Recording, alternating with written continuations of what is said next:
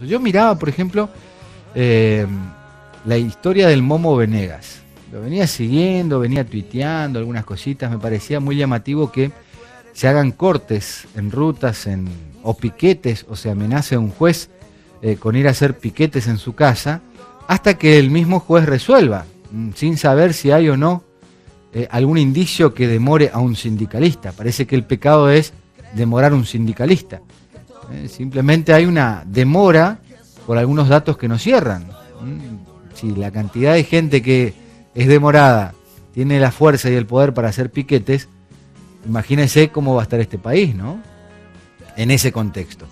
Ahora, eh, evidentemente la presión eh, o cofradía, si se quiere, ejerce un peso muy importante, porque al término del viernes se conoció la liberación de él, eh, Momo Venegas, que es el sindicalista de, de, Huatre, eh, previa caución de nada más y nada menos que 500 mil pesos. Una cifra bastante interesante. Estuve leyendo un poco para tratar de interiorizarme por qué llega ahí Momo Venegas, ¿no? ¿Por qué llega la causa? Un contador muy ligado a Venegas. Lo habría mencionado y hay charlas telefónicas. Y en el medio de nuevo surge lo que ya conocemos en Misiones, que son las famosas escuchas telefónicas. Eh, tan famosas escuchas telefónicas, como lo decía el propio sindicalista Barrio Nuevo, que eh, vivimos escuchados. Yo sé que todo el tiempo me están escuchando, ¿no? Eh, no sé, se tendría que preguntar solamente en Buenos Aires cómo, cómo, hacen a través de algunas provincias como la de Misiones y ya tenemos historias ahí para, para poder contar en ese tema, ¿no? Bueno, la cuestión es que eso es un capítulo aparte. Eh, no quiere decir que esté, que esté libre, que esté fuera de la causa. Eh, aclarar, digamos, porque se podía ver en la televisión porteña eh, mucho festejo. Evidentemente, el sindicalismo se cerró, digamos, en torno a esa cuestión. Pero ya hay otros sindicalistas detenidos, o sea, en otras provincias, pero no trascendió tanto porque quien habían detenido era un hombre de peso, nada más y nada menos que de la UATRE. Entonces el planteo que por ahí hacemos en una semana donde conocimos un montón de operativos de la FIP, donde conocimos unos datos que habla de 11, 12 o 13 mil eh, tareferos que se necesita para levantar la cosecha en misiones de hierba y que están registrados 5 mil, eh, vos decís, ¿por qué no se hace un piquete tan rápido frente eh, a ver, a alguna multinacional o alguna empresa grande eh, y se ejerce la presión para que eso suceda, ¿no? Eh, sin embargo, fue mucho más rápido por la defensa de un sindicalista, que a su vez va a tener que demostrar después en la justicia qué es lo que tiene que ver con, la historia. Hay que dejar que los carriles vayan por su eh, carril normal, institucional, como corresponde, porque si cada uno tiene que hacer un piquete por un fallo o por una decisión de un juez, me parece que tendríamos que estar todos cortando las avenidas en distintos lugares. ¿Qué le queda por ahí a, gente más renombrada, no? Eh, yo por eso no entiendo. Ahí es donde vos ves y escuchás ruidos muy fuertes vinculados al año político. Muy fuertes, eh, muy fuertes. Eh, de un lado y del otro. Esto no es para... Lo que sí también veo y observo, que el sindicalismo cada vez tiene que hacer más fuerza para, por medio de la presión, eh, ser justos en, sus reclamos. Eh, pienso que también van a tener que replantear eh, su estrategia en una sociedad que cada vez le es más esquiva al sindicalismo. Es como que los trabajadores muy pocas veces se sienten representados. Entonces debe haber un trabajo de todo el sindicalismo eh, a recuperar esa confianza. Primero del trabajador, que se sienta defendido por el sindicalista, y segundo, de la misma sociedad, que no descrea del eh, sindicalismo inserto eh, en el poder o formando parte del poder. Sí tiene que estar dentro del esquema de poder, porque necesariamente lo tiene que hacer, pero no ser de ese sector, porque si no pierde los intereses, va perdiendo los intereses. ¿Y cuál es el principal interés del sindicalista? Defender al obrero, al chacarero, en este caso de Huatre estamos hablando, defender al eh, tarefero, salir a hacer piquetes a aquellos que utilizan a los tareferos eh, y los abandonan, por ejemplo, esas historias, ¿no? Eh, apuntar directamente a las empresas que se lavan la mano en este tipo de cosas.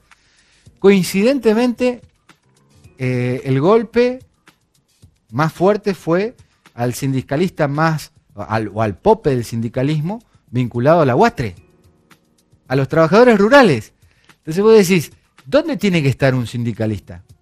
Defendiendo a los trabajadores rurales. Entonces, si vos formas parte de un esquema opositor o, quizás oficialista y te olvidás de defender a los trabajadores, estás perdiendo el sentido.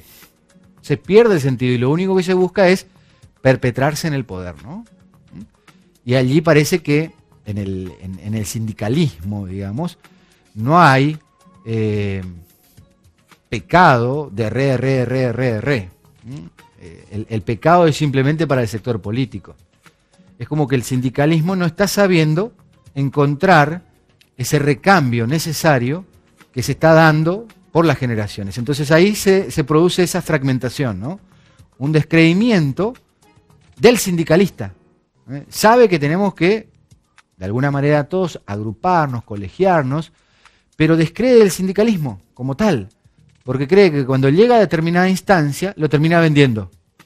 ¿eh? Al, empleado, al que le votó, el que llevó a determinados lugares. Por eso, esa disociación se da cuando se pierde el norte del, poder. Eh, el poder del sindicalista está en sus empleados, en sus afiliados, en su gente. Si se desatiende al sector más vulnerable, como por ejemplo eh, los peones, los peones como corresponden a este sindicato, y se atiende más en el escritorio de Buenos Aires con algunos dirigentes políticos, entre ellos ya puede ser eh, el oficialista o el opositor, también podemos bajar a la provincia de Misiones si queremos, se va a perder la credibilidad. Entonces, el sindicalismo va a ir perdiendo credibilidad, aunque tenga pasión, porque hay gente que hace muy mal las cosas dentro del sindicalismo. Entonces, el sector empresarial ya descree también, mucho más los empleados.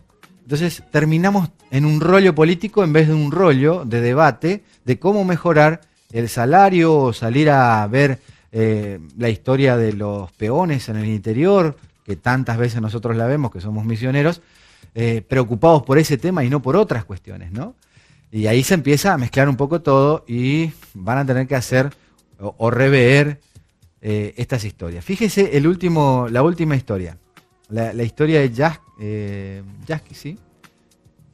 CTA, una elección que hasta el momento no entiendo cómo terminó. No entiendo, no entiendo. te hablan de un lado, te hablan del otro, eh, asumen unos que son, se dicen que son el oficialismo, el otro dice no, nosotros seguimos. Entonces, eh, ese mismo sindicalismo, lo que está, la, pelea por el poder termina dividiendo a los propios empleados.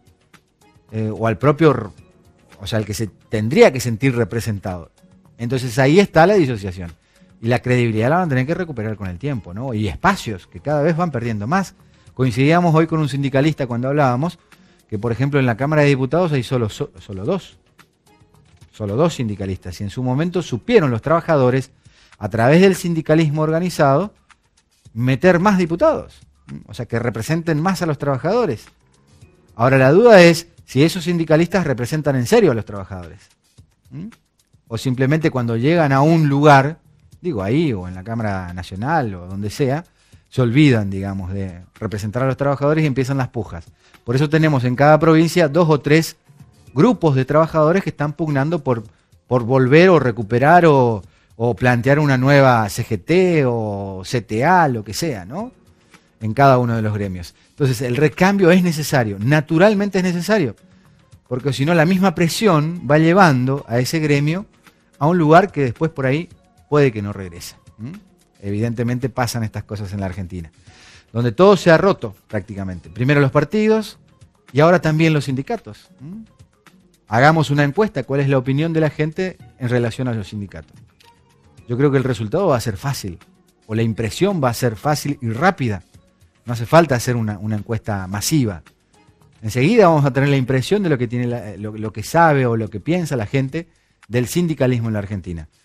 eh, cosas raras que están pasando en los últimos tiempos. ¿no? Ni, ni hablar de los partidos políticos, ¿no? ni hablar de los partidos políticos, que cuesta recuperar esa confianza rota ya por el 2001, 2001 y mucho antes todavía, ¿no? Mucho antes todavía. Vamos a ir con la primera página, puede ser.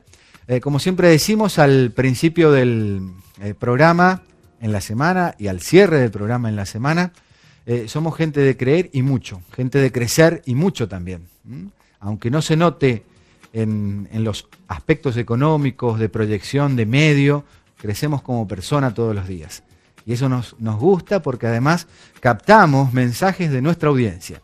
¿Cuál es el mensaje de nuestra audiencia? Positivismo. ¿Mm? Necesitamos gente que eh, mire hacia adelante, mire al futuro, eh, piense que tenemos que dejarle una buena provincia a nuestros hijos eh, que, realmente nuestros hijos crean que cuando salgan de la facultad, cuando salgan de la secundaria, cuando salgan de la primaria, de lo que sea, haya oportunidades. Y en ese camino estamos nosotros. Y por eso siempre decimos, hay que tener mucho cuidado. Hay mucha gente mala dando vueltas por allí. Y nosotros estamos seguros que si usted es seguidor de seis páginas, en este sexto año eh, consecutivo del canal, eh, no está en esa lista. Nosotros tampoco estamos en esa lista.